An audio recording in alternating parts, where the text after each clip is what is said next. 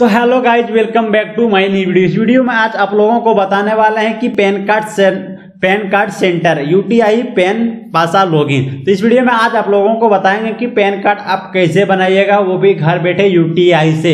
And इसका retailer distributor super distributor या फिर इसका एडमिट पैनल लेना चाहते हैं तो इसके लिए क्या प्रक्रिया और कैसे आप लीजिएगा तो इस वीडियो में पूरा आपको देखने को मिलेगा। और पैन कार्ड आप ट्रैक कैसे कीजिएगा, उसका भी जानकारी इस वीडियो में बताएँगे। तो चलिए गाइज़ बने रहिए हमारे साथ। तो जैसे कि यहाँ पे हम देखिए गाइज़ यहाँ पे आए हैं। तो ये मेरा पैन कार्ड का मतलब वेबसाइट है। तो यहाँ पे जैसे आगे तो यहाँ पे डेस्कटॉप में कुछ आप लोगों को देखने को इस तरह मिलेगा। यहाँ पे वॉलेट का ऑप्शन आ जाएगा एड वॉलेट ऑनलाइन यहाँ पे आप और टॉपअप भी ले सकते हैं। उसके बाद यहाँ पे बता देते हैं कि कूपन आप खुद से परचेज कर सकते हैं। कूपन के ऊपर जैसे क्लिक कीजिएगा तो यहाँ पे क्लिक करने के बाद देख सकते हैं ऊपर में भी एक मतलब नोटिफिकेशन आ रहा है बट आपको क्या करना होगा, यहाँ पे आपको ऐड करने के लिए क्या करना है भेले यहाँ पे आपका वी एल ई जो होगा आईडी उसके ऊपर आपको क्लिक कर देना है। यानी आपको फ़िज़िकल कूपन रहने देना है, हमको फ़िज़िकल लेना है तो आप जो लीजिएगा इसमें फ़िज़िकल या जो लीजिएगा, वो आप ले सकते हैं। तो चलिए यहाँ पे आपको मिनिमम दो कूपन आप बाय कर सकते हैं। ये कूपन है मिनिमम दो कूपन बाय कर सकते हैं। देख लीजिए, यहाँ पे आ गया है दो कूपन यहाँ से मिनिमम बाय कर सकते हैं। तो दो कूपन का चार्ज कितना पड़ा? एक सौ बिरानवे रुपया यहाँ पे हमारा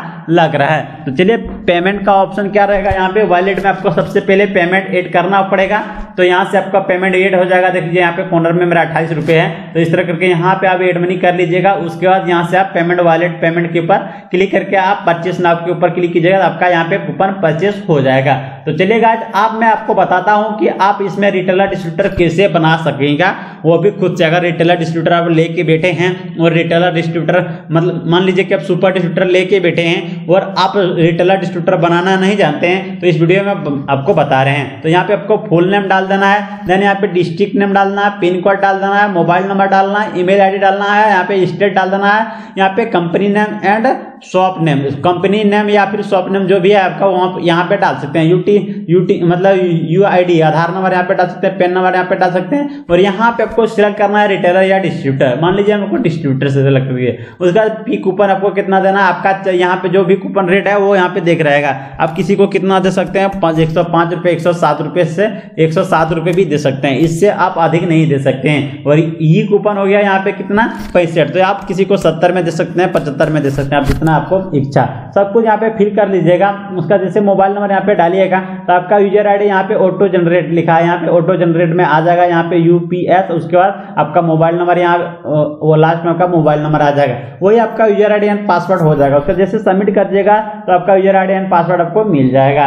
आप यहाँ से भी दे सकते हैं किसी को या फिर मिल जाएगा आपको। तो चलेगा यहाँ पे आपको पहला ऑप्शन बता दिए। उसके बाद आप लोगों को बताते हैं कि आप वॉलेट में आप यहाँ से लोड कर सकते हैं। उसके बाद पासा लॉगिन इसके बाद इसमें बाद में बात करते हैं। और यहाँ आ गया PAN card track PAN card के ऊपर जैसे क्लिक कीजिएगा, यहाँ पे आप पैन कार्ड खुद से ट्रैक कर सकते हैं। बहुत आदमी होता है कि पैन कार्ड ट्रैक करना ही नहीं जानता है। बट यहाँ से आप पैन कार्ड आसानी से ट्रैक कर सकते हैं, वो भी बिल्कुल आसानी से। तो चलिएगा यहाँ पे आप लोगों को बताते हैं, थोड़ा सा यहाँ पे लोडिंग ले रहा है। लोडिंग लेने के बाद, ओह सॉरी यहाँ पे मतलब नेट फ्लो इसी के कारण तो एप्लीकेशन नंबर यहाँ पे डालना है यानी कि कूपन नंबर जो आपका है वो यहाँ पे डालना है या फिर पेन नंबर है तो पेन नंबर यहाँ पे डाल सकते हैं आप एप्लीकेशन नंबर यहाँ पे डालना है उसके यहाँ पे डेट ऑफ़ बर्थ डालना है उसके बाद कैप्चर यहाँ पे डाल के सबमिट के ऊपर जैसे क्लिक कीजिएगा तो आपका स्टेटस यहाँ पे बता दिया जाएगा कि पेंडिंग है या फिर अप्रूव हो गया या फिर पेन नंबर मिल गया तो यहाँ पे सब कुछ डिटेल्स आपको मिल जाएगा देन यहाँ पे गाइस यहाँ पे फ़ोटो एंड सिग्नेचर का बहुत सारा का प्रॉब्लम होता है यहाँ से फ़ोटो सिग्नेचर को आप फ़ोटो अपलोड कर दीजिएगा ऑटोमेटिक आ जाएगा वहाँ से डाउनलोड करके यहाँ पे